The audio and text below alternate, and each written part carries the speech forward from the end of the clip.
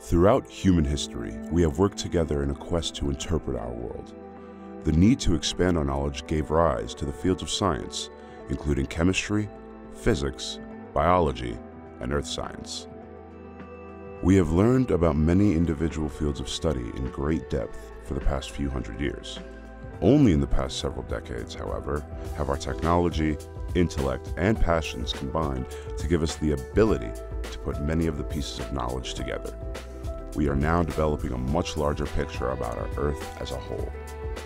It unveils a complex, interconnected, remarkable world, and it reveals the powerful influence we have had on our home planet. People from all areas and occupations have been extremely creative and thoughtful about developing strategies to respond to climate change and move us away from the warmer Earth that models are predicting. Human carbon emissions are warming our planet and will continue to do so until we do something about it. Millions of dedicated citizens are taking action. Tens of thousands of researchers have devoted their careers to climate science. Engineers are building sustainable technologies, while forward thinking leaders and entrepreneurs are enacting strategies for the future.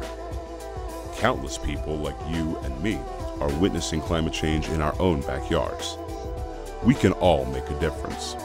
The most important thing we can do is keep talking about climate change with our families, friends, and leaders.